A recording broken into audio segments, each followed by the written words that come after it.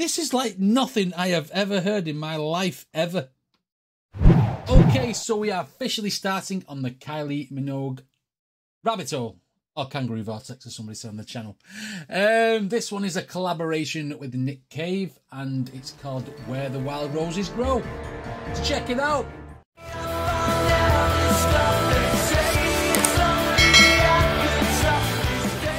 Now, on my last reaction of Padam Padam, a lot of people picked up on my comments in that video saying what I said that uh, Kylie Minogue is a forgotten artist. And I got a lot of, uh, she's not a forgotten artist, blah, blah, blah. She's this, she's been going for five decades, blah, blah, blah. What people failed to pick up on is I said, she's a forgotten artist to me. to me. I'd forgot about her. Not she's a forgotten artist. I'd forgotten her. Just want to make that clear before anyone else says that. Okay. Right. On with the kangaroo vortex.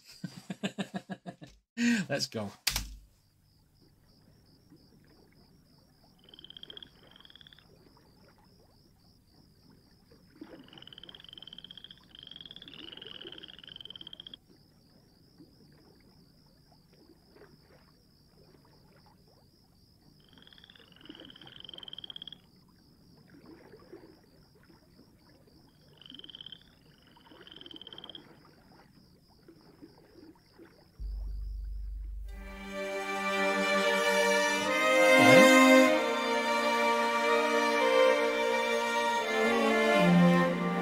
They call me the wild rose, Okay. but my name was Eliza Day. Why they call me it, I do not know. For my name was Eliza Day. Hang on a minute, hang on a minute, hang on. What is this style of music? Is this influenced by Nick Cave? I have never listened to Nick Cave in my life. This feels like doom and gloom. feel like there's somebody dead in the water and he's washing his hands. Because he's killed somebody. Hmm.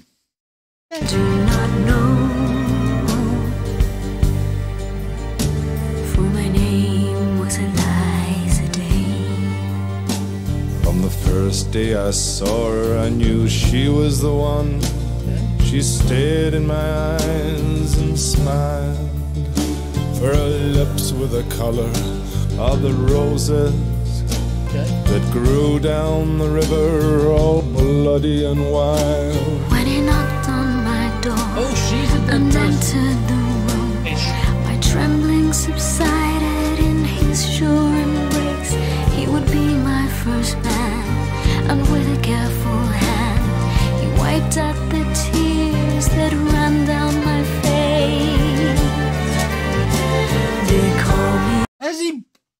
on the head with a rock? Hang on a minute. This is like. It's like a love at first sight story. So when I first saw you, like this, your lips, lips are the colour of roses and stuff, you wipe the tear from head. And it's from the different perspective of both the, the, the, the man and the lady in this in this messed up scenario. And it feels like it's building up to like one of them films where at first everyone's happy, then when one of them turns into a stalker or a murderer, and you know he, ends up killing her. Who's Eliza Dane? Is this a factual story? Because I feel like they keep. It feels like something factual, even though it's put into song form. This is like nothing I have ever heard in my life ever. Okay, let's continue. And with a careful hand, he wiped out the tears that ran down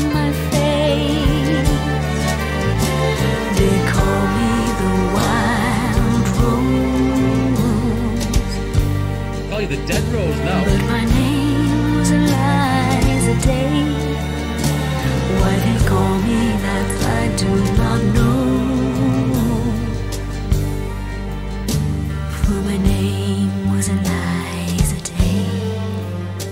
On the second day, I brought her a flower. Okay. She was more beautiful than any woman I've seen. I said, Do you know where the wild roses grow, so sweet and scarlet and free.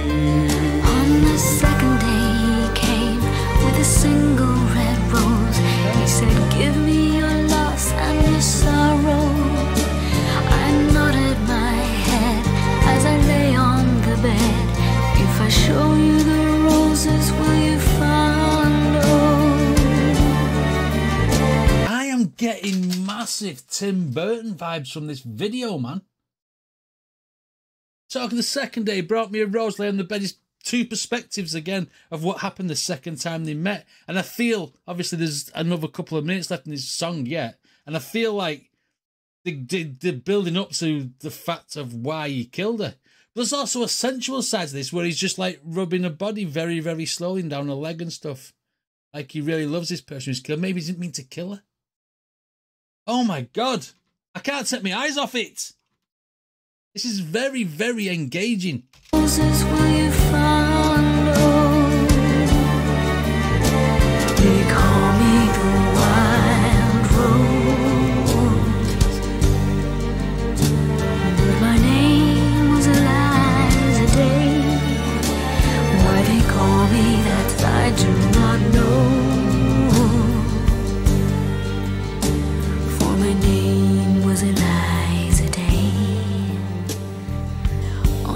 On the third day, he took me to the river. There we go. He showed me the roses and we kissed. And the last thing I heard was a muttered word as he knelt above me with a rock in his fist. On the last day I took her where the wild roses grow. She lay on the bank, the wind lied as a thief, and I kissed her goodbye. Said all beauty must die. And I leant down and planted a rose between her teeth. They call me the wild rose. What? What? So she didn't know she was being taken to be killed. She thought they were going to the to the roses and get smacked, and then you get smacked in the head with a rock and puts a, you know, as a mark of respect, puts a rose in her teeth. This is like Walking Dead, Carol, when that kid's going to turn into a zombie. Smell the flowers, boom. Wow, it's ruthless. Didn't expect this. Now I know a lot of people have said Kylie Minogue is very, very diverse throughout the years, but geez, yay! I'm, I'm, I'm, I'm a little bit. I mean, I'm, I know I've talked a lot, but I'm speechless. By. Said all beauty must die. And I leant down and planted a rose between her He's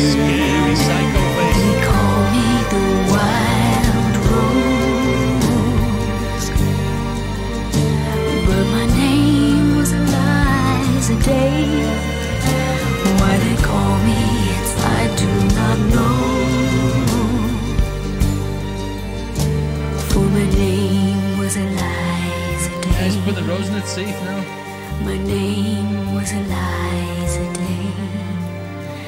For my name was Eliza Day.